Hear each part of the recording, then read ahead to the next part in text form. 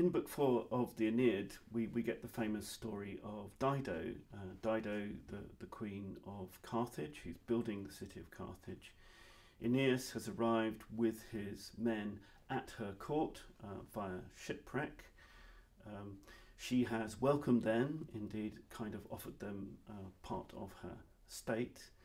Uh, and uh, at the end of book one, Dido has given an elaborate banquet for the Trojans and is obviously interested in Aeneas.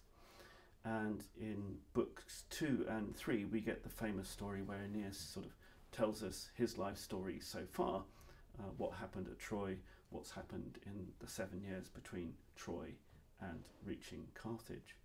And what we get at the beginning of book four is Dido's reaction to this uh, great narrative, which basically is very positive. Uh, she um, she finds him uh, very attractive and she is very impressed by uh, his narrative of his past, which at least partly has been aimed at her. He makes it very clear that he loses his wife, for example, though he also does make it clear that he has to go to Italy and won't be able to stay in Carthage. So, book four begins with this interesting scene between the two sisters, between Anna uh, the sister of Dido, and Dido herself. And for readers of the poem with some literary background, this is important because this is very like the opening scene of Sophocles' Antigone, where you have the tough sister who's going to do the tough business, Dido, Antigone, talking to the less tough sister who is trying to uh, make things more acceptable. And uh, I think this is a hint that one of the important things in this book is going to be Greek tragedy.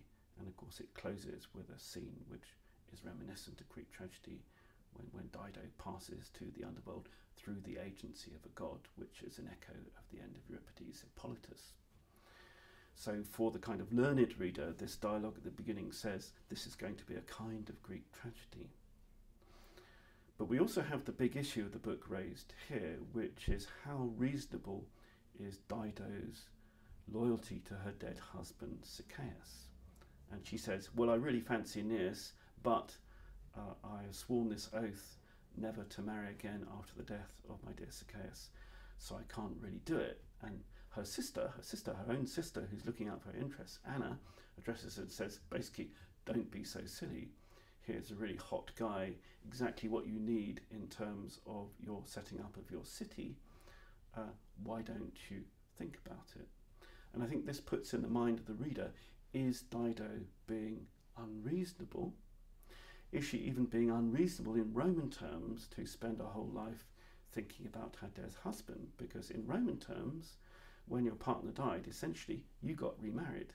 Augustus married four times. Uh, was what you were supposed to do, whether wife or husband, because the purpose of marriage in Roman terms is the generation of children.